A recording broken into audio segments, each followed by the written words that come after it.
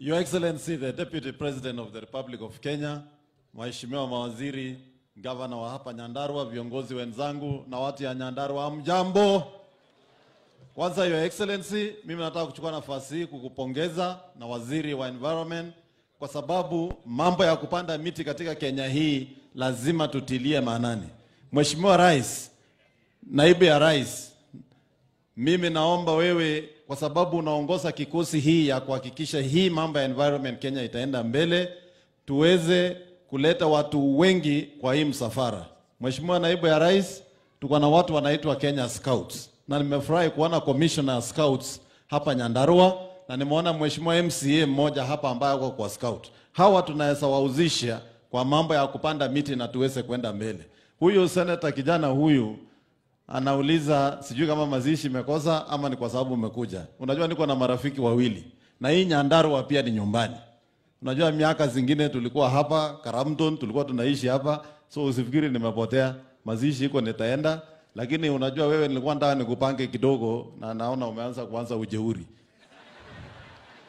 ati anataka kuwa rais 2042 kabla ya mimi. Wewe unaona hiyo maneno inawezekana? Wewe kwenda ujipange. Nikimalizia, Mheshimiwa naibu ya rais, mambo ambaye hao watu wa Azimio wanataka kurudisha mambo ya maandamano, tafadhali tunataka kuwaomba, hii nchi iko na katiba. Kama wanataka kuandamana, ikuwe ya amani, na kama watapora mali ya watu, tunataka kuona watu wakishikwa wapelekwe kotini. Hata sisi raia tuliwaunga mkono. Unajua hata hii bipartisan, your excellency, tumekubali kwa sababu sisi kama jeshi ya Kenya kwanza, we are loyal to the generals. Lakini kama ni kusema tunaongea alafu wanasema tunarudi maandamano, sijui wameandika barua egg, waambie tunangoja majibu, wasitusumbue. Si tunataka kufanya kazi na tunataka kupanda miti. Ya mwisho hii Nyandarua, your excellency, vile mheshimiwa mbunge Wanjiku amesema hapa ni diaspora ya Mount Kenya. Hata sisi watu ya Rift Valley tuko na stake, na hapa iko nyuma, hapa iko shida ya mabarabara, hapa your excellency, iko shida ya bei ya mambo ya ukulima.